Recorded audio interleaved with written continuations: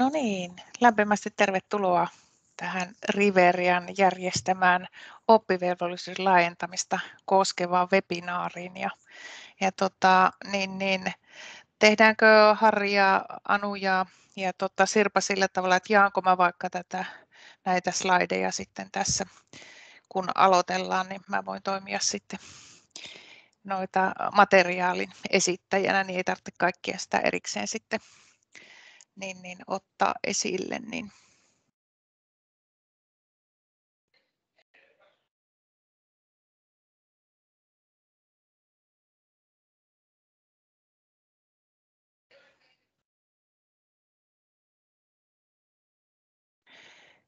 No joo, mutta lämpimästi tervetuloa. Toivottavasti mahdollisimman moni on noin langoilla. Vielä joku tuolla, tuolla on, on tulossa, mutta tota, niin, niin, otetaan heidät sitten mukaan, kun, kun saapuvat. Ja, ja tota, ajatus on tässä nyt sitten vähän käsitellä sitä Riverian toimintatapaa, kun puhutaan tästä oppivelvollisuuden laajentamisesta ja tosiaan nyt meillä yhteistä aikaa tuosta yhdestä tuonne kolmeen, kolmeen sitten on ja ollaan Riverian taholta sitten valmistauduttu siihen, että, että tota, niin, niin tämän tapaisia asioita tässä yhteisesti käsiteltäisiin, jotka teillä nyt siellä sitten näkyvät. Eli ihan muutama sana tuosta HOX-prosessista.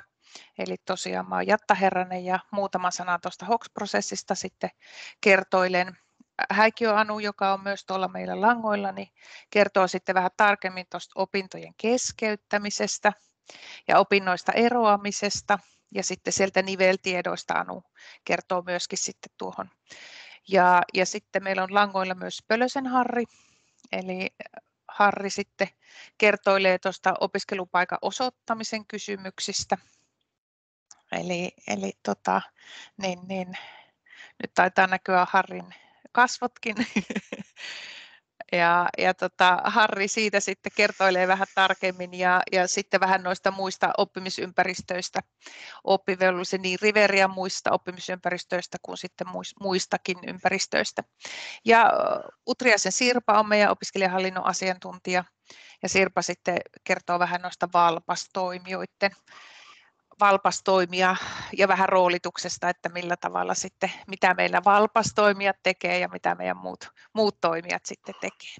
Mutta tämmöisellä tota, ohjelmalla olisi tarkoitus mennä eteenpäin ja tietysti jätetään paljon tilaa sitten kysymyksille ja keskustelulle. Toki voitte niitä kysymyksiä esittää, laittaa tuonne chattikenttään tai sitten jos tulee kysymys mieleen, niin nostakaa kättä ylös, niin, niin, niin annetaan sitten teille myöskin puheenvuoro. Mutta tosi lämpimästi tervetuloa itse kullekin tähän, tähän tota, yhteiseen sessioon. Mennään sitten eteenpäin ja, ja tota, osalle teistä varmaan onkin tosi tuttua, mutta tämän ammatillisen koulutuksen reformin myötä niin, niin puhutaan henkilökohtaistamisesta ja HOX-prosessista meillä sitten ammatillisen koulutuksen kentällä niin Riveriassa kuin muuallakin.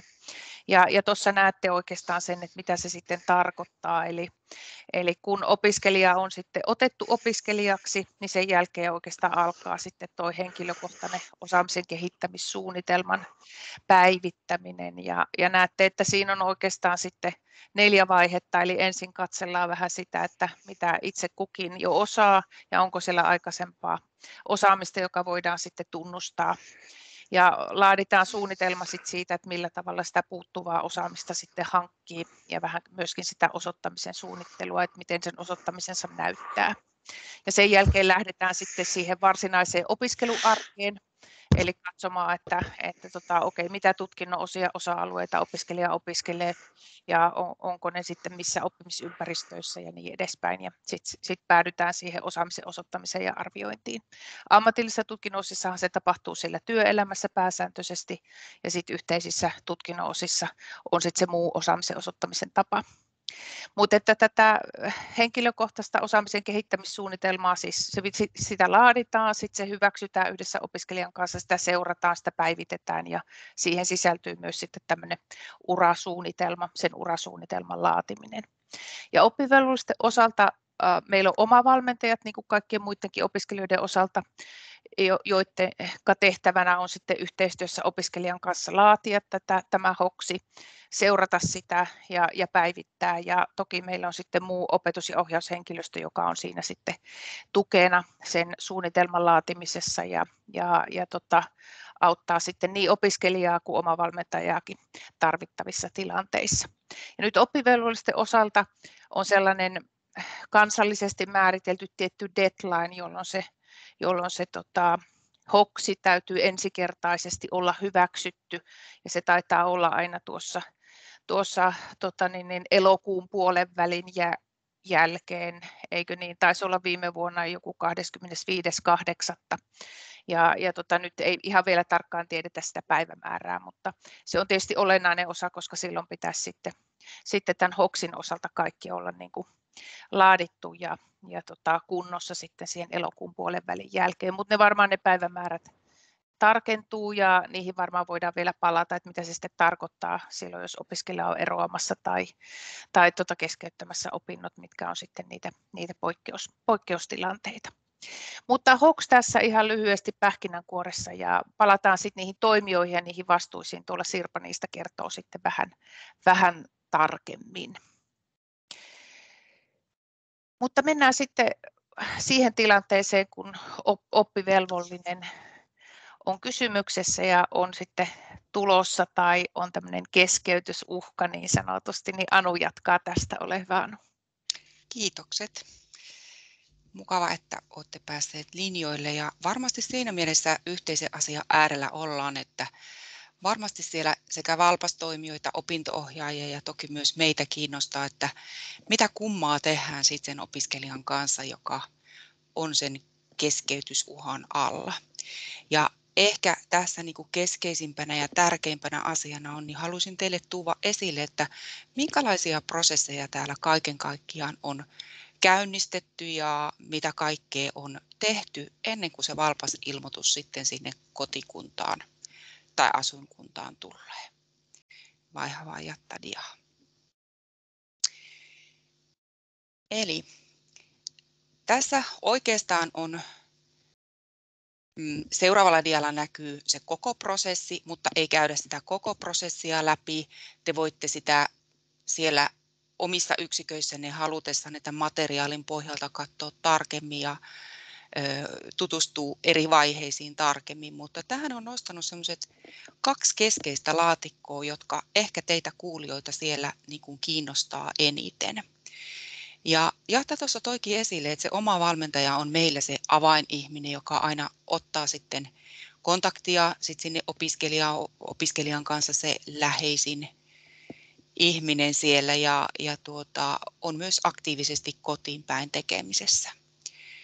Eli jos meillä on tällaista keskeytysuhkaa vaaraa, niin tähän on oikeastaan nostettu niitä keskeisiä tehtäviä, mitä ihan lakisääteisesti meillä täällä ammatillisella koulutuksella tai toisella asteella yleensä pitää tehdä. Ja, ja nämä prosessit sitten on vähän niin kuin muokattu meidän näköisiksi. Eli jos se opiskelija alkaisi näyttäytyä siltä, että hän on vaikka viikon kokonaan tiellä tietymättömillä tai jotenkin alkaa tuntua siltä, että poissaoloja kertyy ja opiskelija on ollut noin 30 tuntia pois, niin aina oma valmentajan tehtävänä on siellä ottaa yhteyttä sinne opiskelijaan ja huoltajaan. Ja niin kuin siellä oppivelvollisuuslaissa lukee, niin koulutuksen järjestäjän on varmistettava, että se huoltaja on siellä niin kuin tietoinen siitä, että poissaoloja kertyy tai ne opinnot ei siellä etene. Ja nämä keskustelut meillä dokumentoidaan sitten sinne Vilman tukivälilehelle ja toki niitä sovittuja asioita sitten sinne HOKSiin. Ja jos opiskelija on siellä huolen alla, niin idea ja ajatus on, aika pikaisella tahilla se oma valmentaja noin viikon poissaolojen jälkeen lähettelee sitten sitä huoliviestiä sinne koko oman alueensa opiskeluhuoltohenkilöstölle ja koulutuspäällikölle, että mulla on nyt huoli tästä opiskelijasta. Ja Meillä Riveriassa ehkä ajatellaan tätä opiskeluhuoltoa pikkusen laajemmasta perspektiivistä kuin pelkästään se oppilas- ja opiskelijahuoltolaki. Eli meillä niin kuin kuraattoreiden, psykologien ja terveydenhoitajien ohella siihen opiskeluhuoltoon kuuluu niin kuin opot, erityisopettajat ja myös ammatilliset ohjaajat monessa tilanteessa sekä asuntolaohjaajat tietysti omalta osaltaan, mutta he eivät sitten ole tässä prosessissa niin tiiviisti mukana. No, tämä on yksi sellainen keskeinen asia, eli siinä vaiheessa kun opiskelija ei sitoudu opintoihin, niin meillä on lakisääteinen velvollisuus selvittää, että löytyisikö meiltä jostain toisenlaisia oppimisympäristöjä. Onko meillä Riveriassa pajoja tai valmakoulutusta tai opiskeluvalmiuksia tukevia opintoja, tai löytyykö joku muu ulkopuolinen yhteistyökumppani, joka meidän kanssa lähtisi sitä rakentamaan sitä opiskelijan oppimispolkua. Ja myös tällaisissa tilanteissa mietitään sit aina sit sitä sisäistäkin siirtymää, että onko joku toinen perustutkinto parempi kuin tämä nykyinen, soveltuuko opiskelija johonkin toiselle alalle paremmin kuin sille nykyiselle, missä hän opiskelee. Uutena asianahan siellä myös on, että jos se opiskelija ei sitoudu, niin sitten tavallaan hänen kohdalla se erityisen tuen uudelleen kartoitus täytyy tehdä. Eli voi olla, että sen saman opiskelijan kohdalla sit sitä erityisen tuen tarvetta arvioidaan useamman kerran. Ehkä meillä se perinteisin malli on ollut, että opintojen alussa on se asia, että se asiaan sitten palattu, ellei niin ollut aivan erityistä tarvetta, mutta tässä tavallaan nämä keskeytyspuhan alla olevat uudelleen arvioinnin kohteen alla olevia opiskelijoita. Ja jos sitten mietitään sitä sisäistä siirtymää tai kokonaan sitä opintojen etenemistä, niin siellä on aina opintoohjaaja nyt mukana tässä prosessissa ja tarvittaessa sitten aina myös se erityisopettaja.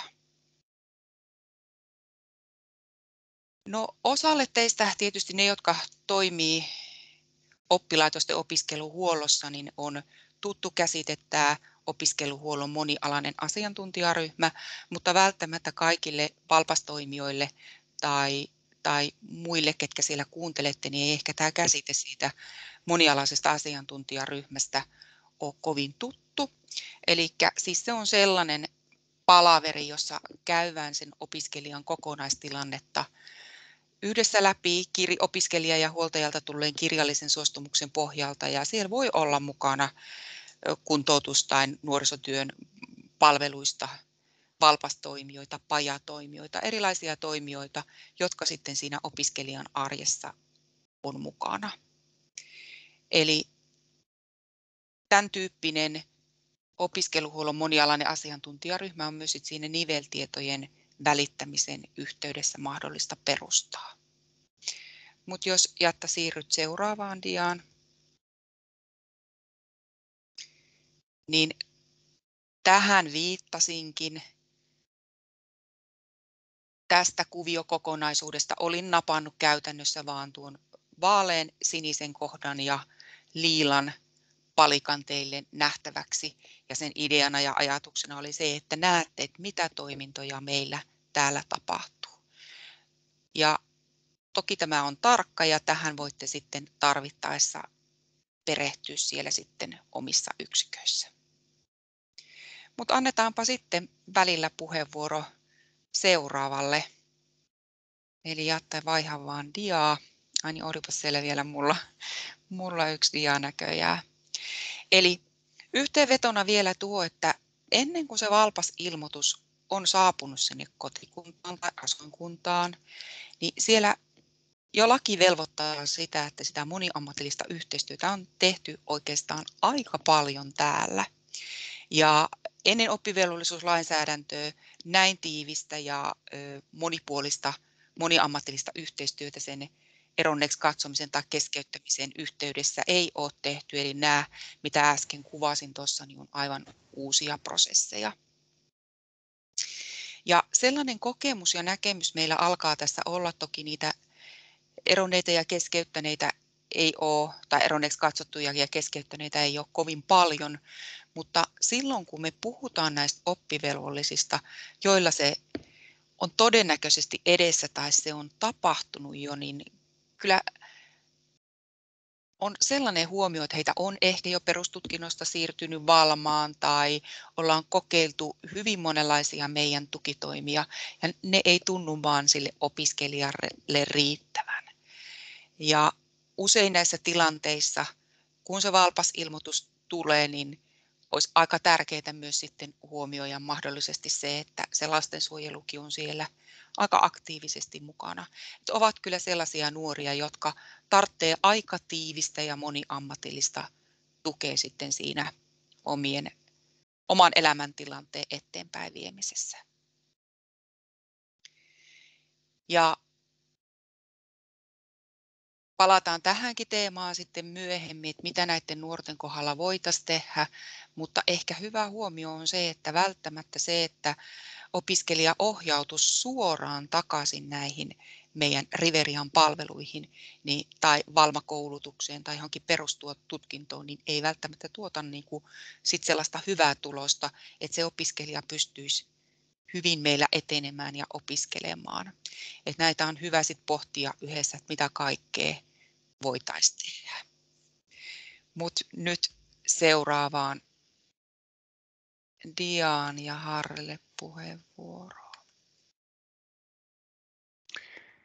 Joo, Pölösen Harri täällä tein tuota puheenjohtajalle muille esittäjille vähän semmoisen käytännöllisen pilan. Eli tuota, vaihan vähän tätä esitysten järjestystä, että kun Anun, Anun esityksessä tuli monen kertaan mainittu sisäiset siirtymät, valmatuvaa ja opiskeluvalmiuksia tukevat opinnot, niin tuota, varmaan on tuota, järkevää nyt nimenomaan tässä vaiheessa nyt lyhyesti esitellä, mitä, minkälainen kokonaisuus meillä on. Voisi seuraavan dian jättä vaihtaa.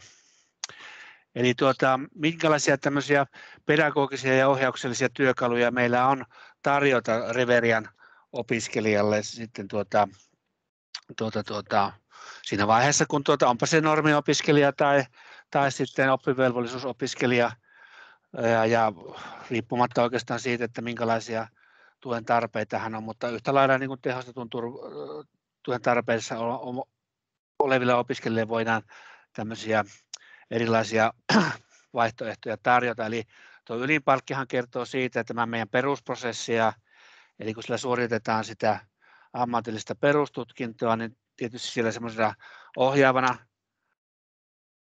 periaatteena on tämmöinen valmentava työote opetuksessa ja ohjauksessa ja sitten meillä on, noudatetaan meidän varhaisen tuen toimintatapoja, joilla ollaan kiinnostuneita opiskelijasta ja, ja tuota, keskustellaan hänen kanssa ja ollaan tarvittaessa yhteyksissä huoltajaan ja, ja, tuota, ja, ja ohjataan ja tuetaan tarvittaessa. Ja, ja tuota, sitten tosiaan niin kuin Jatte jo kertoi tästä HOKSista, niin tuota, tuota hoksia voidaan sitten tuota, siihen sisältyviä asioita, niin opintoja voidaan muotoilla, keventää ja siinä voidaan sitten tarvittaessa, tarvittaessa myöskin sitten lisätä vaikka se erityisen tuen suunnitelma, kun huomataan jossakin vaiheessa, että tarvetta tälle olisikin. Eli kaikki tämä voi tapahtua ihan tämän normaalin tuota, tutkintokoulutusprosessin yhteydessä, mutta sen lisäksi meillä on sitten sitten tuota, opintojen muotoilun osalta niin me voidaan tarjota tämmöisiä avoimia joustavia oppimisympäristöjä, jossa me voidaan sillä tuota, tarjota erilaisia toteutustapoja ja oppimisympäristöjä, mukaan lukien myöskin sitten verkko-opintomahdollisuus erityisesti sieltä yhteisten opintojen osalta. Sitten meillä on, on sitten käynnistymässä ja tai tuota, reformin yhteydessä tuli mahdollisuus järjestää tämmöisiä opiskelun valmiuksia tukevia opintoja. Ja siinä tapauksessa sitten tutkinto-opiskelija, se ei, hän ei eroa, mutta jatkaa opintoja siinä omassa tutkinnossaan, mutta hänelle sitten räätälöidään sitten semmoinen jakso, jossa sitten voidaan sitten tuota, kehittää, antaa tukea elämänhallintaan liittyviin asioihin, opiskelu- ja uravalmiuksia liittyviin asioihin, työelämätaitoihin ja myöskin sitten, sitten esimerkiksi tuota, jos on kielitaidossa, kielitaidossa sitten puutteita ja tarvii siihen sitä vahvistamista, niin opiskelija voi sitten hetken olla siellä joko yhden, yhden jakson, varmaan kahdesta kolmesta viikosta aina viime, korkeintaan puolen vuoden jaksoon yhteensä sitten opiskeluvalmiuksia tukevissa opinnoissa. Sitten tuota, jos, jos tuota, tilanne on selkeästi se, että se alavalinta ei ole ollut oikein, niin voi sitten siirtyä tämmöisen sisäisen siirtymän prosessiin, jossa sitten tutkitaan yhtä lailla sitten, sitten tuota mahdollisuuksia ja, ja kiinnostusta ja motivaatiota sitten johonkin toiseen tutkintoon. Totta kai se lähtee se tarve sieltä opiskelijasta ja siihen aina sisältyy sitten tähän sisäisen siirtymän prosessiin tämmöiset koulutustutustumiset tai, tai sitten mahdollisesti myöskin tutkinnon osan suorittaminen jostakin toisesta tutkinnosta, käytännössä perustutkinnosta. Ja, ja tuota, jos sitten se prosessin aikana niin todetaan, että on, on, on, on tuota, tämä uusi tutkinto, jossa on käyty tutustumassa, niin on se oikea tutkinto, sitten on mahdollisuus sitten siirtyä sitten siihen uuteen tutkintoon. Toki siinä sitten vaatii sitten keskustelua sen uuden tutkinnon koulutuspäällikön päällikönkin kanssa ja hän tekee sen opiskelijavalinnan. Sisäisten siirtymän kautta sitten ollaan siirrytty tuohon valmakoulutukseen ja ja sitten jatkossa tutkintokoulutuksen valmistavaan koulutukseen ja, ja, ja tuota, siellä yhtä lailla jatketaan sitten, sitten tuota, sitä elämänhallintaan ja opiskeluvalmiuksiin liittyviä asioita. Siellä voidaan käydä tutustumassa yhtä lailla tutkintoihin ja muihin tutkintoihin ja muihin oppimisympäristöihin ja saa yhtä lailla sitten korottaa myöskin sitten niitä peruskoulun arvosanoja. Ja tuota, sitten voidaan sitten keskentää sen tuvakoulutuksen jälkeen niin tulla takaisin siihen alkuperäiseen tutkintoon, tai sitten jos on yli alun perinkin tullut siihen tuvatutkintoon, niin sittenkin on mahdollisuus sisäisen siirtymän kautta sitten siirtyä opiskelemaan esimerkiksi ennen sen tuvakoulutuksen tai valmakoulutuksen loppumista niin sitten uuteen tutkintoon tämän sisäisen siirtymän toimintatavan mukaisesti. Eli meillä on sisäisestikin niin tuota, hyvin paljon mahdollisuus sitten, sitten tutkia niitä ja tarjota mahdollisuuksia, joissa voi sitten edetä opinnoissaan sitten, sitten kun tuota, tuota, tuota, on saanut riittävästi ohjausta ja tukea ja sitten omakin, omakin motivaatio ja, ja tuota, ajatus on sitten selkeytynyt. Tämä on siis Riverian tarjonta ja Anu varmaan jatkaa nyt sitten tästä, jos meidän Riverian palvelut liitä, että missä vaiheessa meillä on tämä yhteistyö, yhteistyö tuota, verkoston rakentaminen. Ole hyvä. Joo, kiitos. Eli tärkeintä tässä mun mielestä niin kuin meidän välisessä kuntien ja Riverian välisessä yhteistyössä olisi niin kuin kaikkien hyvä niin kuin ymmärtää, että minkälaisia asioita me voidaan tehdä sen HOKSin puitteissa.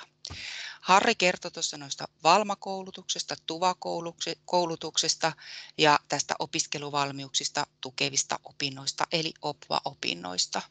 Ja tietysti tuo ammatillinen perustutkinto on siellä se yksi malli, ja tavallinenkin malli, tavallisin malli, mitä oppivelvolliset tekee. Mutta jos me ajatellaan tätä ensimmäistä palikkaa, valmatuvaa opva-palikkaa, niin siellä meillä on mahdollisuus niinku henkilökohtaistaa niitä opintoja tosi kuntouttaviksi. Ja me voidaan rakentaa siitä opiskelijahoksista sellainen, että se rakentuu pääasiassa siihen, että sitä elämänhallintaa tuetaan. Ja se, että se opiskelija sitten on meidän kirjoilla, niin ei tarkoita sitä, että sen on pakko opiskella meillä, meidän tiloissa, vaan no niin. aivan yhtä hyvin nämä valmatuvaa opva opinnot voitaisiin sitten toteuttaa siellä eri toimijoiden tai kuntien pajoilla, kun kaikilla on niin tavallaan tieto siitä, että mikä se HOKSin idea ja ajatus on. Ja jos vaikka esimerkiksi olisi semmoinen oppivelvollinen nuori, jonka kohdalla onkin sellainen tilanne, että me ollaan kaikki noin aiemmin kuvatut tukitoimet, joista kerroin täällä järjestetty, ja opiskelija ei siitä huolimatta sitoudu. Kysymyksissä voi tietenkin olla mielenterveyden pulmia tai tarkkaavuuden pulmia, että ei yksinkertaisesti pysty meidän isoissa ympäristöissä tai opiskelemaan tai jotenkin ei voi tulla tai se ei sovellu se meidän oppimisympäristö tämmöiselle opiskelijalle, niin saattaa ollakin, että se joku kunnan paja tai muun toimijan paja on siellä se paljon parempi ja kuntouttavampi paikka sille opiskelijalle kuin sitten se ne meidän yksiköt.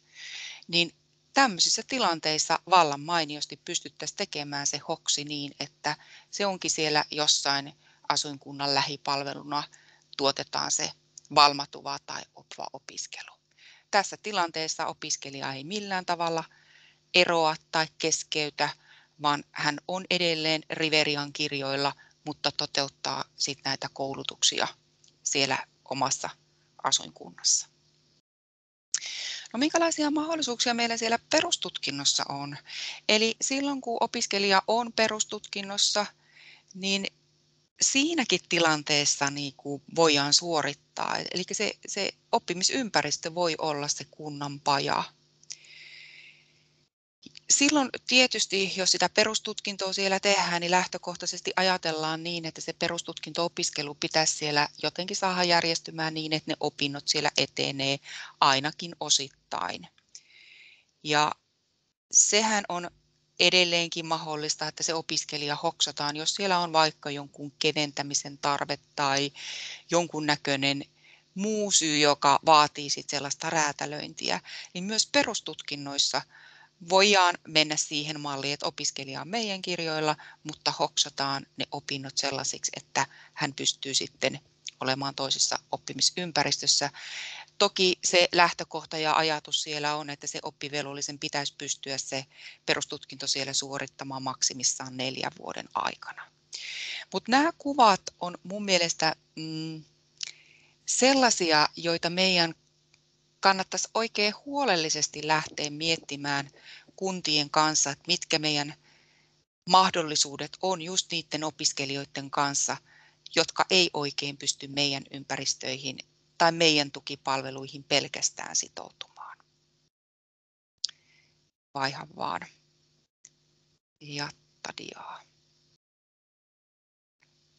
Ja sittenpä taas Harri. No niin, joo, mennään tuota, siellä oppivelvollisuuslaissa on myöskin se maininta tässä opiskelupaikan osoittaminen oppivelvolliselle ja nyt tavallaan nyt tässä esitellään se Riverian toimintatapaa, jos siellä sitten sillä asuinkunnassa, peruskunnassa, niin tuota, ajatellaan, että, että se oppivelvollisuuden suorittamispaikka voisi olla sitten Riverian joku koulutustuva tai sitten joku muu, niin, niin siltä puolelta olemme nyt, tuota, nyt voi varmaan vaihtaa sen dian, eli olemme, olemme tuota, tällaisen prosessikaavion tai vaiheistuksen tuota, laatineet. Ja ideahan on sitten se, että tuo, oikeastaan tuo voi aloittaa joko tuossa yksi ykkösestä tai yksi kakkosesta, mutta varmaan monesti tapahtuu se, että se yhteydenotto sieltä oppivelvollisuuden asuinkunnasta, niin otetaan siihen Riverian paikallisen yksikön opinto-ohjaajaan tai sitten meidän hakuneuvontaan. Silloin, silloin ollaan joko puhelimet sitten sähköpostilla yhteydessä. Ja tuota, siellä sitten, tuota, tai sitten suoraan siihen hakulomakkeen täyttäminen meidän koulutuskalenterissa tai nettisivulla. Ja kun tätä koulutuskalenteria ja nettisivulla olevaa hakulomaketta täytetään, niin siellä on mukana oppivelvollinen huoltaja ja sitten asuinkunnan ohjaava taho, taho sitten parhaassa tapauksessa. Silloin on varmaan sitten niin kuin tiedonkulku ja vuorovaikutus kaikin puolin sitten varmistettu. No sen jälkeen, kun tämä hakulomake on täytetty, riveria.fi-sivulla, niin hakuneuvonta ohjaa hakemuksen sitten meillä sisäisesti oikealle tutkinnolle kampukselle ja tiedottaa sitten asiaa omasta vastaavaa koulutuspäällikköä ja sitten opiskelijahuollon edustajaa, eli käytännössä opinto, opinto-ohjaaja. Siitä käynnistyy sitten tuota, tämmöinen konsultoiva keskustelu, jossa sitten tavoitteena on sitten tuota, selvittää se lähtökohtatilanne ja opiskeluvalmiudet tarkistaa ja tuota, siinä on mukana sitten tuota, asiankunnan ohjaava taho, sitten meidän Riveria edustajat ja sitten huoltaja ja hakija. Ja sen keskustelun jälkeen niin sitten tuota, koulutuspäällikkö järjestää haastattelun, jossa on mukana oma valmentaja, opinto-ohjaaja ja erityisopettaja, jos on tuota, ennustettavissa, että on tarve sitten jatkossa sitten erityisen tuen suunnitelmalle. No tuota, sitten kun on haastattelut, toki tuon konsultoivan keskustelun jälkeen se asia voi toki siirtyä sitten, sitten jokin toisenkin koulutuspäällikön vastuualueelle, kun todetaan, että se olisi niin kuin parempi, tai alun perin on tehty ehkä ohjautunut hakemus sitten väärälle, väärälle taholle, mutta joka tapauksessa niin tuota, sitten kun ollaan, ollaan sitten päästy siihen, siihen vaiheeseen, että tuota, ruvetaan tästä keskustelusta tekoihin, niin, niin tuota, tosiaan järjestetään se haastattelu ja, ja, ja tuota, sen jälkeen koulutus, koulutuspäällikkö tekee valintapäätöksen, joka sisältää sitten tiedon sitä koulutuksen ajoitusajankohdasta ja paikasta ja, ja sitten niistä yhteyshenkilöistä. Ja siinä tapauksessa, jos todetaan sen haastattelun jälkeen ja kun on valintapäätöksen aika, että tuota, ei ole edellytyksiä ottaa sitten siihen haettuun koulutukseen, niin, niin meidän Riveria vastataan sitten ohjauksesta Riverian muihin tarjolla oleviin vaihtoehtoihin. Tässä nyt esimerkiksi TUVA-koulutus ja sitten otetaan myöskin sitten koppia myöskin siitä, että ohjataan sitten muihin ulkopuolisuuden, ulkopuolisen oppivelvollisuuden suorituspaikkoihin yhteistyössä asuinkuntien valpastoimijoiden kanssa, että oleellista tässä on sitten tämmöinen kaikissa vaiheissa varmaan tuota, tämmöinen vastavuoroisuus ja sitten yhdessä tekeminen. Ja sitten jos se päätös on sitten se positiivinen, niin sitten tuota, koulutuspäällikkö ja oma valmentaja järjestää, tuota, kun on se paikka ja aika sovittu, niin sitten järjestää sen opintojen alussa orientaatio- ja perehdytysjakson, jossa sitten tarkemmin vielä määritetään sitten tämä HOKS, eli henkilökohtainen osaamisen kehittämissuunnitelma ja mahdollinen erityisen tuen suunnitelma. Siellä taisi olla joku kysymyskin, tai ainakin viitata, että liittyykö Joo, tähän? Jounille puheenvuoro, ole hyvä Jouni. Joo, kiitos päivää kaikille. Hyvä tämmöinen niin ohjeistus tai tämmöinen selkeä kaavio, mutta että onko tämä nyt tavallaan tarkoitettu tämä kaavio semmoisille, jotka esimerkiksi nyt on vaikka, vaikka keskeyttäneet lukiosta ja tullut meille tänne kuntaan se tieto, koska nyt jos ää, esimerkiksi Riveriasta nyt teette sen ilmoituksen, mie vaikka sen täällä Kontiolahella saisin, niin mie on heti sitten yhteydessä teihin ja sitten haetaan teille, niin eikö teillä tavallaan tämä homma on jo niin kuin tavallaan, onko se vähän niin kuin käyty loppuun? Vai niin kuin ajatuksena se, että, vai, että me täällä kunnassa nyt katsotaan sitä hoitotahoa tai, tai muita toimenpiteitä ja sitten muutaman tai parin kuukauden päästä tehdään tämä, koska tuota, tehän olette siellä varmaan jo katteneet niitä kaikkia mahdollisia koulutusvaihtoehtoja jo siellä päässä, vai ymmärsinkö mä jotenkin väärin? Miten sä tarkoitit, että on lukiosta? Haluanko Anu vastata tähän? En ehkä ihan täysin ymmärtänyt tuota kysymystä. No joo, eli Jouni, jos se opiskelija on tullut lukiosta ja se tippuu sieltä teille, niin meillähän ei hänestä luonnollisesti ole mitään tietoa. Eli silloinhan hän hakee meille, jos, jos te näette sen siellä, että okei, tämä Riveria on OK-polku. Ja tässähän on kuvattu tavallaan se prosessi teknisesti, mutta Jouni, näinhän se on, että se meidän viesti tavallaan on, että jos, jos meiltä opiskelija tulee ja on se valpas ilmoitus tehty, jos se tulee nimenomaan Riveriasta, niin siellä asuinkunnassa, kotikunnassa olisi tosi tärkeää miettiä se verkosto, miten tästä lähdetään eteenpäin. Et se on aika ohut tie tietenkin, jos saman tien kun valpasilmoitus tulee, niin haetaan Valmalle ja lähdetään sitä prosessia, koska silloinhan siinä helposti käy just se, että meitä pallotetaan kuntaan ja kunnalta meille. Mutta siinä sun esimerkissä tietysti opiskelija tuli sieltä lukiosta, jolloin meille ei ole hänestä mitään tietoa ja hän pystyisi käyttämään esimerkiksi tätä prosessia. Kiitos. No, kiitos Anu ja kiitos Jouni kysymyksestä. No sitten tuota, toinen, toinen tuota, asia, mikä kiinnostaa varmaan seuraavalla dialla sitten se tarkentuu. Eli siinä tilanteessa mennään jo tuohon, tuohon sitten tuota ensi kesäkuuhun, eli meillä on yhteensä kuollut jo pitkällä ja tuota, se tilanne, että eihän näitä paljon ole, mutta muutamia niitä aina on, että, yhteishaussa ilman opiskelupaikkaa jääneiden oppivelvollisten hakeutuminen Riveriaan kesällä 2022. Ja se idea on tietysti tässä, kun tätä ohjeistusta laadittu, että me pyritään yhtä lailla takaamaan se opiskelupaikka oppivelvollisille toisella asteella. No se toimintatapa, miten me tuota, ollaan tätä ajateltu tässä vaiheessa, että silloin olisi hakeutuminen koulutuskalenterin kautta siitä samasta osoitteesta, mistä niin kuin äskenkin, äskeisessäkin tapauksessa, ja, ja tuota, kun mitkä on, eli silloin olisi mahdollisuus hakeutua niille, va, niille vapaille opiskelupaikoille, jotka eivät ole sitten jota meillä on tarjolla sitten sen yhteyshaun ja mahdollisten soveltuvuuskokeiden ja kielikokeiden jälkeen. Ja nämä on yleensä tapahtunut siinä toukokuun loppuun mennessä ja sen jälkeen toimialat heiltä kysytään he ilmoittavat toukokuun lopussa, että mille aloille oppivelvolliset voivat hakea sitten kesällä 2002.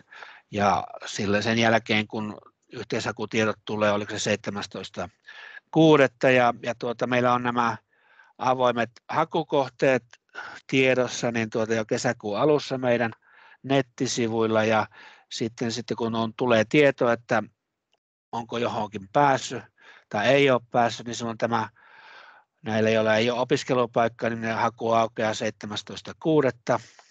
Eli samana päivänä, kun sitten tuota, yhteishakutieto tulee, ja sitten se haku kestäisi sitten seuraava juhannusviikon keskiviikkoa asti 22.6. asti ja ajatus on, että sitten päätökset tehtäisiin seitsemällä, seuraavalla viikolla se perjantaihin ensimmäinen seitsemättä mennessä ja siinä välissä oltaisiin valmistauduttu pitämään mahdolliset pääsy- ja soveltuvuuskokeet ja sitten tehtäisiin ne valintapäätökset tosiaan viimeistään ensimmäinen seitsemättä ja silloin opinnot alkaisivat sitten ihan samassa tahdissa kuin muissa, muillakin tuota, yhteishakualoilla, että silloin keskiviikkona 3.8.2022 eikä 2021. Että tällä tavalla on ajateltu, että tämä, tämä tuota, tapahtuisi. Viime vuonna meillä oli näitä tapauksia jotain puolen kymmentä, että ei se iso määrä on, mutta joka tapauksessa heillekin on ta- nyt tavallaan jo tässä vaiheessa yritetty kuvata tämä toimintatapa näissä tapauksissa. Että meillä on mahdollisuus hakea sitten ja aloittaa opinnot sitten ihan normaalia aikaa muiden vasta- vastaavien opiskelijoiden kanssa elokuussa 2022. Jos ei ole kysymyksiä, niin varmaan siirrytään sitten tuohon seuraavaan asiaan.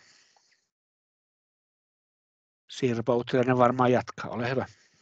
Joo, kiitos Harri.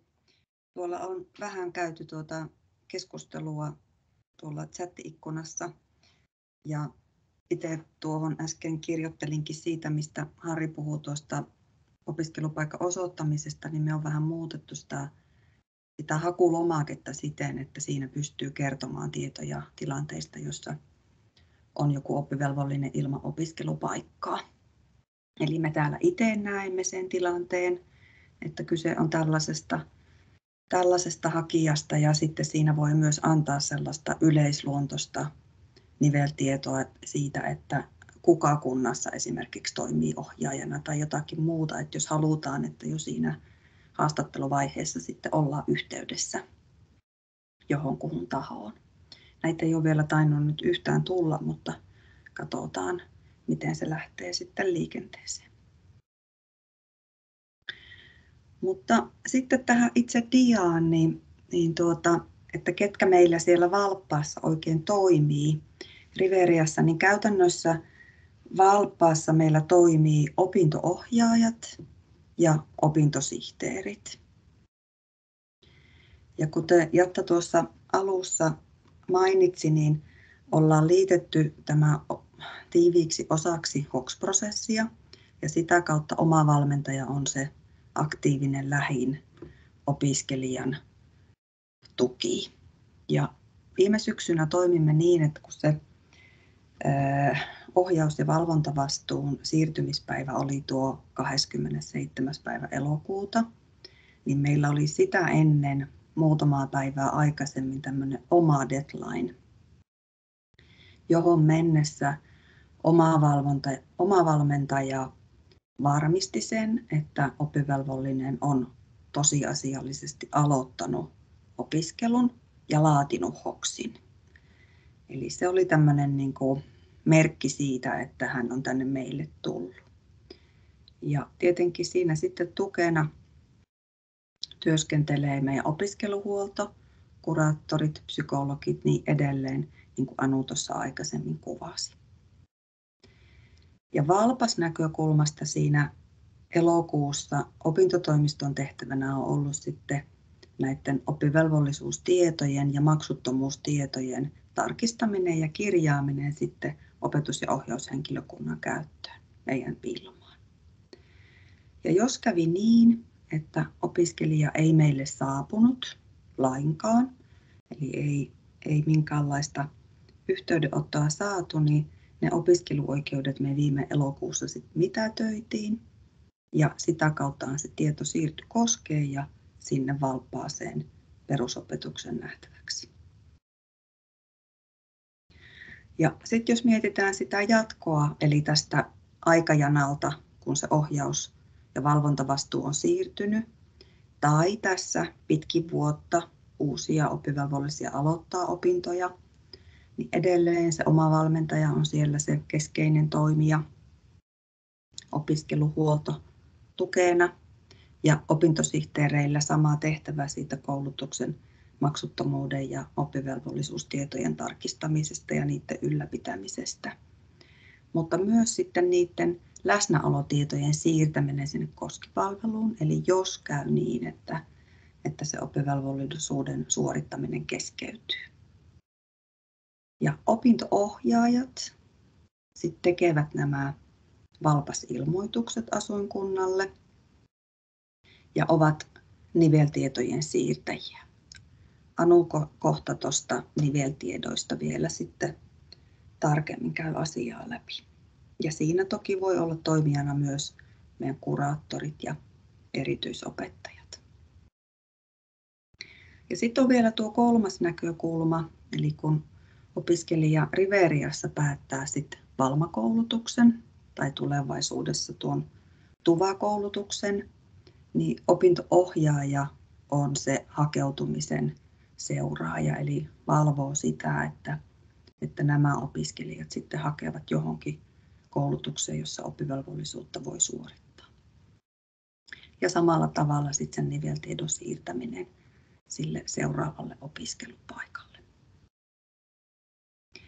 Ja tällä hetkellä ei tietenkään nyt tuota ensi elokuun toimintatapaa vielä ihan tarkasti tiedetä, mutta samalta pohjalta varmasti mennään ja aikataulu tarkentuu sitten kevätpuolella sen opetus- ja kulttuuriministeriön päätöksen mukaisesti.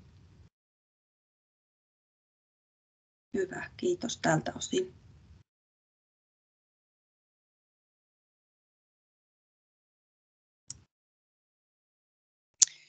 No niin, Anu taas täällä. Eli ennakkoon pyydettiin teiltä kysymyksiä ja sieltä nyt ei paljon tullut kysymyksiä, mutta sitten tuli niveltietojen siirtämisestä ja mun mielestä tässä kysymyksessä, minkä näette, niin on aivan äärimmäisen keskeisiä ja tärkeitä asioita tähän oppivelvollisuuteen liittyen. Ja Jounikin sieltä sitten kyseli, että miten työ tässä asiassa nyt niin kuin toimitaan. Eli, eli tuota, siellähän tuli just tämä oleellinen kysymys, miten se kuntavalvoja saa tietää, että mitä Riveriassa on tehty. Eli se oli tärkeä kysymys. Sitten toinen kysymys. Ahaa, Jouni laittaa se, että tämä oli mun kysymys, joo. Eli onko mahdollista luoda sit sellaista järjestelmää, mistä voisi lukea tai nähdä ne meillä tehdyt toimenpiteet. Ja onko se nyt yleensä mahdollista, että niveltiedot siirtyy takaisin sinne kuntaan, kun nythän peruskoulut antaa jo meille hyvää tietoa eteenpäin toiselle asteelle siirryttäessä. Ja sitten se, että onko tämä valpas ainoa mahdollinen sitten, miten näitä ilmoituksia sitten saadaan. Tai pitääkö, pitääkö sille valpas opolle niin kuin käytännössä aina sitten soitella. Ja vaiha vaajatta diaa. Eli tuossa nyt oikeastaan viime viikolla näin yhden opon kanssa, kun hän teki sitten sen valpas ilmoituksen ja konkreettisesti katsottiin, että miten se nyt sitten siellä tapahtuu. Ja niin kuin kaikki tiedetään, niin valpashan on vaan todella tekninen ilmoitusjärjestelmä. Ja sieltähän ei oikeastaan nyt mitään muuta saa selville kuin, että kuka se ilmoituksen tekijä on. Ja sitten vaan, että ilmoitettu. Vaiha vaan dia.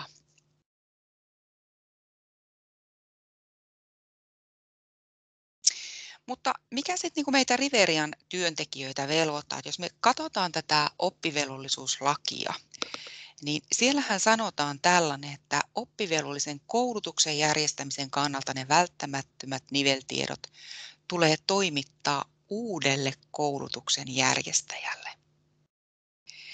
Ja samalla tavalla ne tiedot on niin kuin annettava, jos uusi koulutuksen järjestäjä sitä pyytää. Mulle on esimerkiksi jostain toiselta puolelta Suomea tullut kysymyksiä, että hei, että voitteko te toimittaa tämän nimisen nuoren niveltiedot, mitä te olette peruskoulusta saanut. Me ollaan lähetetty salattua sähköpostia. Toki siinä on ollut hieman haasteena, että jostain syystä kaikki eivät meidän salattuja sähköposteja ole sit saanut auki, mutta se on todennäköistä, onkin sitten se vastaanottajan tuota, asetuksissa se pulma. Mutta kuitenkin, että jos se pyyntö tulee, niin kyllä meiltä ne lähetetään. Ja samalla tavalla sen koulutuksen järjestämisen kannalta välttämättömiä tietoja pitäisi saada sieltä opiskelijahuoltotyöhön osallistuvalta. Ja nythän meidän pitäisi lähteä miettimään sit sitä, että miten me tätä asiaa tulkitaan. Et tulkitaanko me tämä asia sillä tavalla, että me siirretään koulutuksen järjestäjältä suoraan koulutuksen järjestäjälle, ja onko, onko se niin kuin tällainen toimintatapa, vai onko näin, että siinä tulee se kunnan valpas toimia osaksi sitä prosessia niin, että hän toimiikin sit siinä vaiheessa, kun opiskelija siirtyy mahdollisesti uudelle koulutuksen järjestäjälle tai uuteen yksikköön, niin sen tiedon välittäjänä eteenpäin. Laita vaan eteenpäin.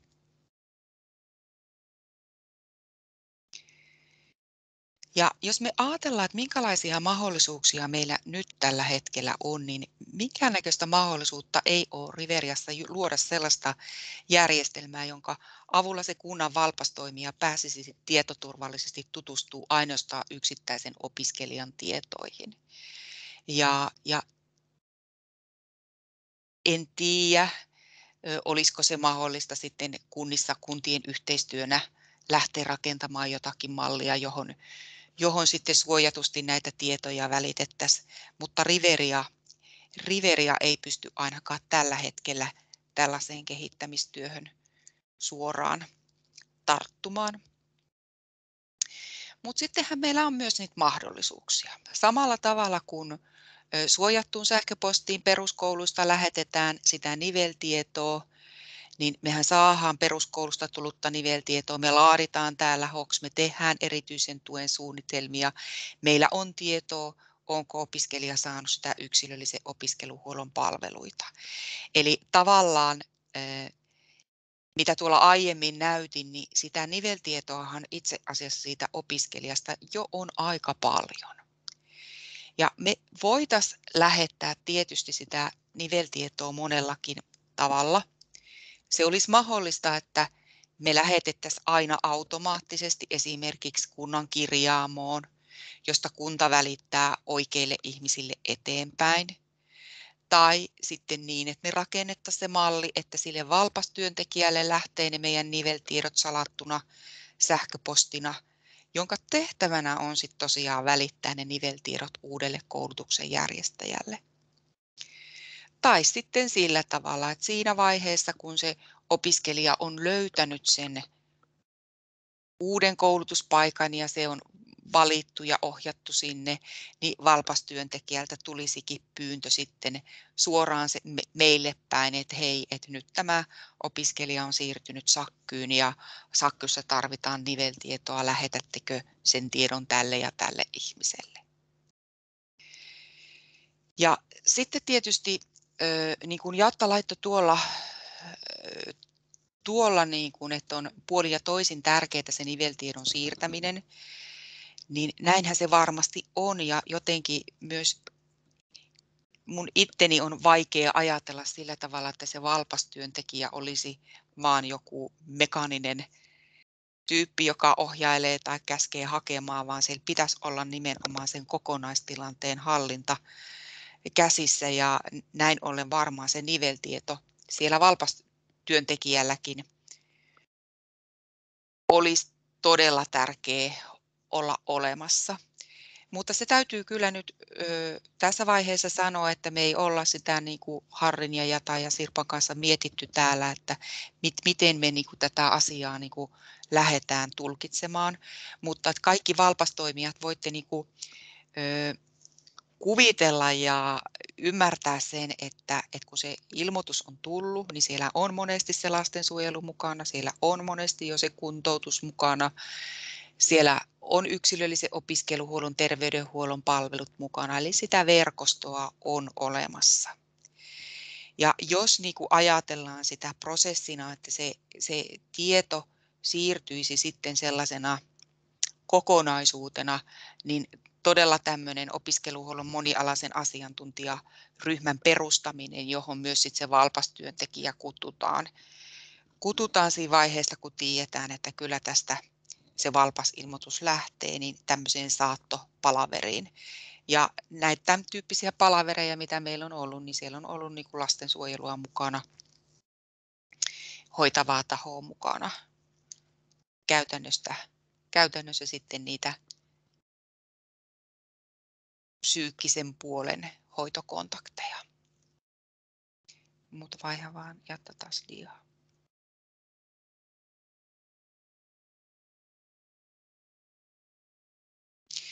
Ja tällä hetkellä se ainoa mahdollisuus on just se, mikä siinä kysymyksessäkin oli, eli ilmoituksen tehnyt henkilö.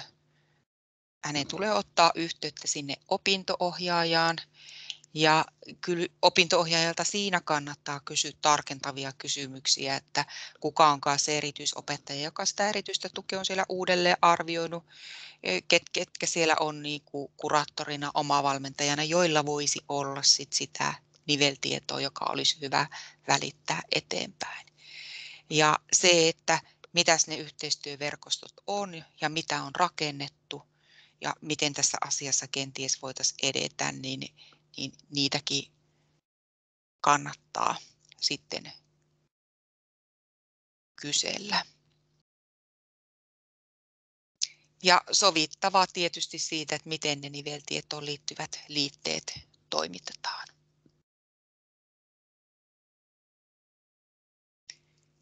Vaiha vaan jatta diaa.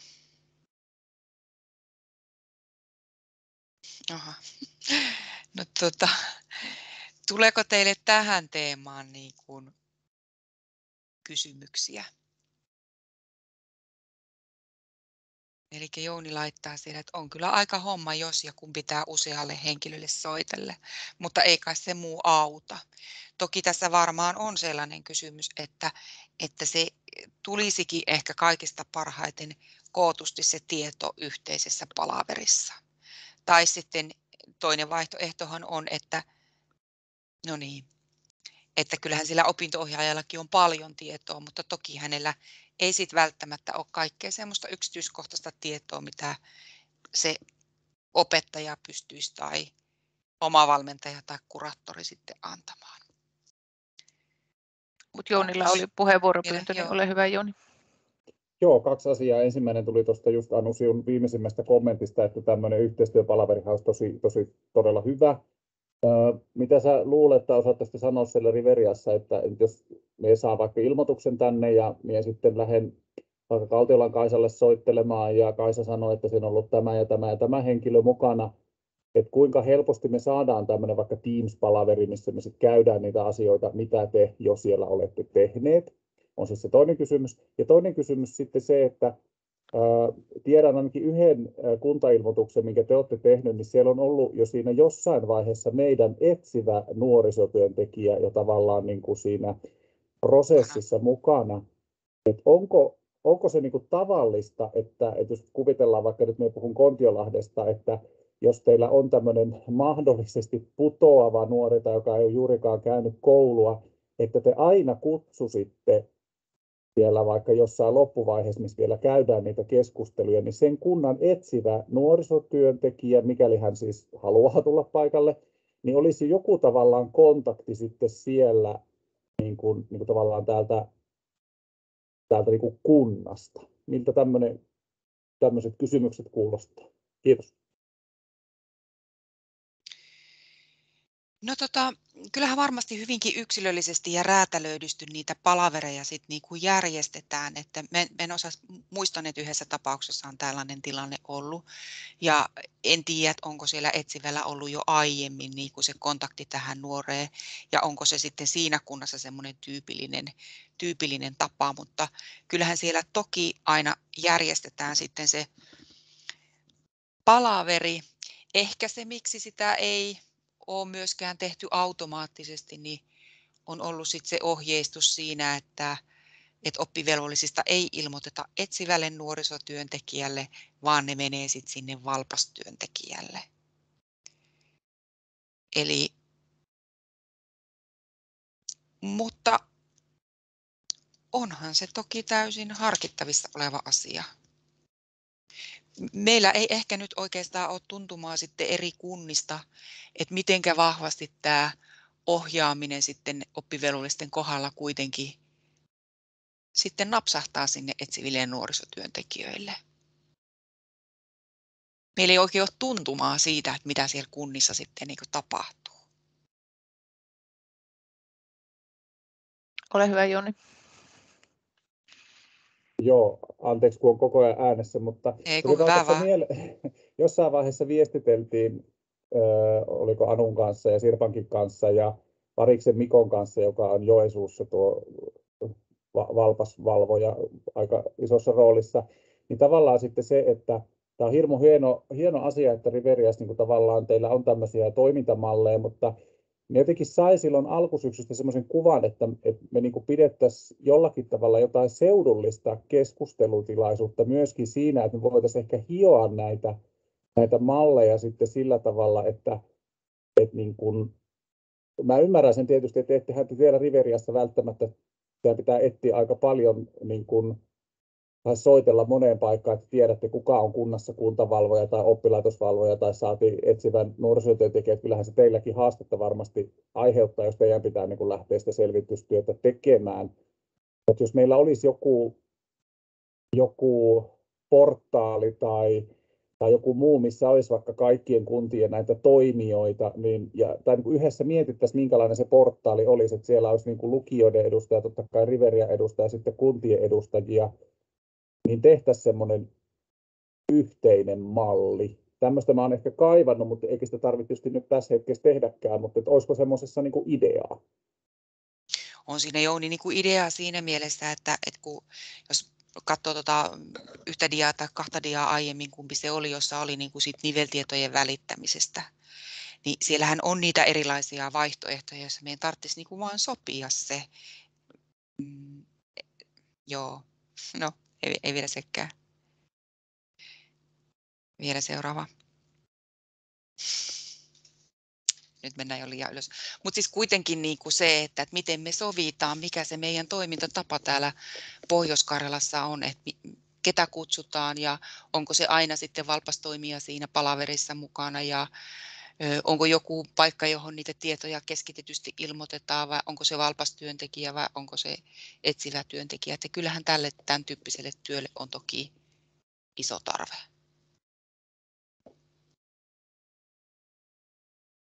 Niin mulle tuli mieleen tuosta Jouni ehdotuksesta, että, että, että varmaan olisin samaa mieltä, että varmaan tämmöinen seudullinen yhteistyö ja sen seudullisen yhteistyöverkoston niin, niin, kokoontumista ja muuta, niin tokihan me voidaan siinä olla aloitteellisia ja kutsua koko, jos, jos sitten vaan kerrotte, että, että miten ikään kuin tätä lähdettäisiin tekemään vai miten me tätä sitten valmisteltaisiin, että, että tällä, tällaiselle yhteiselle mietinnälle ja pohdinnalle ja yhteistyölle, toimintamallien hiomiselle varmaan on tarve, koska ja se ehkä nyt olisi vielä helppoa, kun niitä oppivelvollisia ei ole ihan hirvittävän määrää. Sitten kun se vuosittain aina kasvaa, eikö niin se määrä, niin olisi, olisi ehkä helpompi nyt sitten, sitten jo miettiä ennen kuin on, on hirveän iso joukko sitten, sitten noita oppivelvollisia. Niin. Mutta onko tähän toiveita tai oletteko muut sitä mieltä, että tämmöistä seudullista verkostoa lähdettäisiin muodostamaan ja sen tarkoituksena olisi sitten tämän Pohjois-Karjalan yhteistyömallien rakentaminen sitten tässä niin, niin tiedonsiirrossa ja, ja muissa asioissa, niin toki voidaan siitä ottaa koppia olla koolle kutsuja, kun tiedetään, että millä tavalla tätä lähdettäisiin viemään eteenpäin. Onko minkälaisia ajatuksia?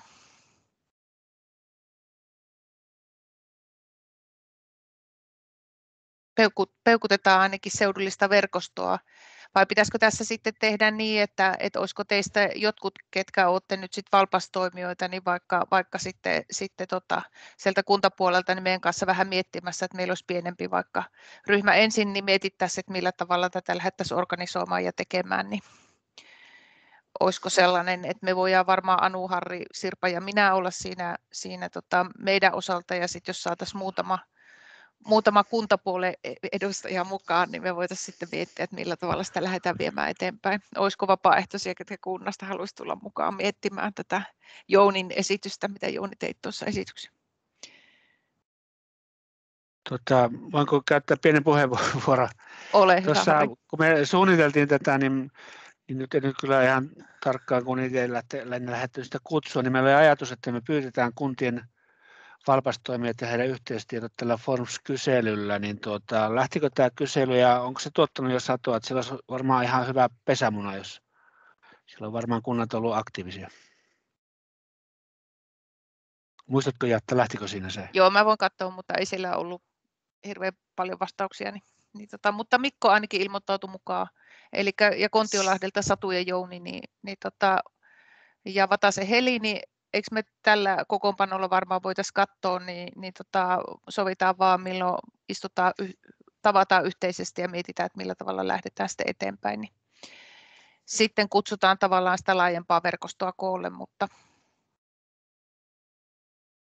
niin tämä varmaan voisi tällä tavalla lähteä sitten käyntiin, että, että yhteisesti sitten mietittäisiin, eli oliko Anu tuo juuri se, mitä tuossa, mikä oli se, että miten me tulkitaan sitten näitä asioita tämä Joo, kyllä. Ja sitten jos vielä laitapa se seuraava dia, olisiko se siinä? Eli tämä esimerkiksi, mm, miten kyllä. tapahtuisi automatiikkaa valpastyöntekijän kyllä. kautta valpastyöntekijä yhteydenotto meille päin. Eli tämäkin on yksi hyvin konkreettinen asia, jota meidän pitäisi miettiä, että mikä se on teidän näkökulmasta se viisas tapa ja mikä se on meidän näkökulmasta ja miten me saataisiin jotenkin niin kuin Pohjois-Karjalassa sellainen oppivelvollisuutta palveleva ja, ja koko meidän aluetta palveleva malli ja rakenne. Et esimerkiksi yksi teema, josta voitaisiin hetikin lähteä liikenteeseen. Kyllä.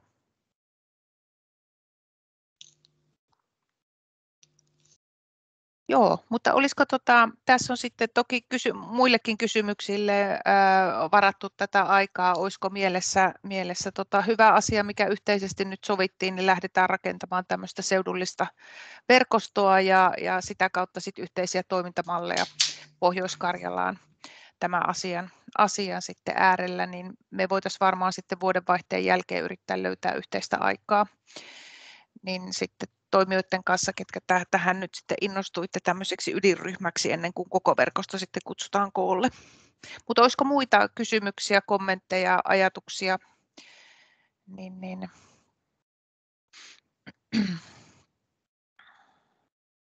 Harriko viittaa? Vanha käsi, vanha käsi, sori. No niin, mä voin vielä var- varmistella, mutta Satu, ole hyvä. Joo, kiitos Jatalle oikein paljon tästä tilaisuuden järjestämisestä ja että tätä just toivon, että saataisiin tämmöinen seudullinen, seudullinen yhteinen tapaaminen ja nyt vielä jos me saadaan tämmöinen seudullinen toimintamalli luotua, niin on kyllä erittäin optimistinen tämä suhteen. Kiitoksia oikein paljon. Varmaan yhteisellä asialla ollaan, eikö vaan, ja jos ajatellaan sitten oppivelvollisten etua ja yksilöiden etua tässä, että, että väli, et, vältyttäisiin siltä luukuttamiselta ja yksilön pompottamiselta paikasta toiseen, niin, niin tota, se varmaan sitten säästää kaikkien, kaikkien resursseja yksilön kannalta tietysti niin, niin sellainen ratkaisu, johon pitäisi pyrkiä. Mutta Anu, ole hyvä. Joo, sellainen kysymys, että onko teillä valpastoimijoilla nyt keskenä, keskinäinen tieto siitä, että ketkä kaikki meillä Pohjois-Karjalassa on heitä, jotka sitä valpasta käyttää nimenomaan kuntaroolissa?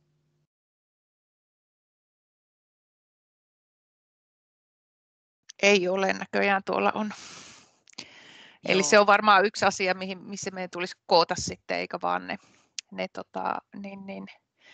Et hyvin yksi näköjään selitteisiä vastauksia, että ei ole. Eli se varmaan sellainen, että voitaisiin koota ne valpastoimijat, tai sehän voi sitten myöskin elää ja sinne tulla muutoksia, että sekin on tietysti sitten sellainen, että, että tota, on hyvä se ottaa huomioon, jos mietitään, että millä tavalla sitä ko- kootaan sit sitä tietoa ja miten sitä ylläpidetään, niin se on varmaan sitten semmoinen myöskin tärkeä asia. Tämmöinen tyhmä kysymys. En tiedä, Sirpa tietää meillä parhaiten sen valpasjärjestelmän. Niin se ei valpasjär- valpasjärjestelmässähän voisi olla nämä tiedot, mutta ne ei taida olla tiedot näistä eri kuntien ja toimijoiden valpastoimijoista. Sehän voisi olla hyvä lisä sinne. En tiedä sitten syntyykö siitä semmoinen henkilöstörekisteri, joka on mahdotonta tehdä, mutta Sirpa, osaatko yhtään arvioida tilannetta? Niin siis kyllähän se tieto siellä järjestelmässä on niiden käyttöoikeuksien kautta, mutta se ei ole meillä niin kuin keskenämme nähtävissä. Okay. Se on vaan semmoinen niin kuin tekninen tiedonvälitysjärjestelmä toimijalta toiselle. Ja sitten oletuksena siinä on ollut, että rakennetaan kussakin organisaatiossa ne omat toimintamallit. Mutta Sirpalle vielä kysymys, että olisiko meillä mahdollista saada tavallaan se pääkäyttäjiltä tai muilta niin kuin Pohjois-Karjalan alueen kuntatoimijat tietoon niin kuin sitä kautta nopeasti, vai onko se sitten sellainen, että se on metsästystyötä täällä alueella? Joo, ei sen järjestelmän kautta, vaan sitten meidän pitäisi itse toimittaa Joo, niitä tietoja ja välittää. Että se, Niin vaikka ne on siis siellä järjestelmässä. Ne Niin, siis on hassu. On. Niin sehän on ihan hassua. Että Se on me oikeasti varmaan aivan saataisiin hassua. ne. Niin, mä, sitä pitää selvittää, että eikö, jos se on kerran, kun kaikki ihmiset on ilmoittanut sinne järjestelmään ne tiedot, niin on se ihan käsittämätöntä, että, että, että sitten meidän pitää tällä alueella tehdä uudestaan se työ ja kerätä se jotenkin se tieto muuten, kun se ei saada sieltä järjestelmästä tai ne kysellään sieltä, onko se niin jäykkä se valpasjärjestelmän ylläpitäjä, että jos sieltä haluaa Pohjois-Karjalan toimijat, niin sieltä ei saa semmoista tietoa. niin, tai kyse on varmaan siitä, että kun sinne ei ole mitään ilmoitettu, vaan sinne on luotu vain käyttöoikeuksia henkilöille. Aa, niin, niin, että ne ei ole Niin. siis, joo, joo, joo, okei. Se perustuu niihin käyttöoikeuksiin, että kunnassa ne on annettu tietyille henkilöille ja meillä ne on annettu tietyille henkilöille, Niin, että ei kyllä, ole. Joo, eri- okei. Mä siis ajattelin, että ne on jotenkin siellä niminä, mutta silloinhan se ei ole. Joo, okei.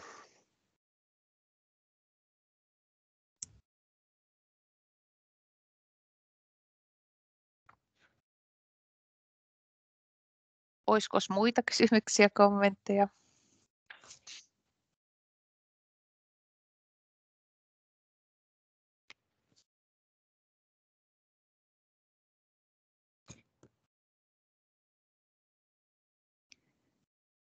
Jos ei ole meidän, meidän osalta, Riveria osalta tietysti kiitetään teitä, teitä tuota kaikkia. Onko Sirpa, Anu tai Harri jotakin, mitä haluatte vielä, vielä tota, niin, niin, ottaa esille tai kertoa? No jos Harri täältä sanoisi, että kaikille osallistui hyvää joulua. Ihan Juuri näin, eli mukavaa jouluodotusta. Ja, ja tota, mutta olisiko hei, onko tota Mikko ja Heli ja, ja sitten tuo Jouni ja, ja Satu, oliko siellä vielä joku, niin ehittäisikö me katsoa se ai, aikataulu vaikka sille tammikuulle, niin jos, jos ehditte jäämään langoille, niin voitaisiin yrittää sopia se aikataulutus, niin ei tarvitse sitten vaihtaa montaa sähköpostia, jos, jos se onnistuu, niin lähdetään sitä verkostotyötä sitten miettimään. Niin. Mutta oikein hyvää joulua kaikille ja kiitokset ja tästä sitten jatketaan niin, niin kohti yhteisiä seudullista toimintaverkostoa.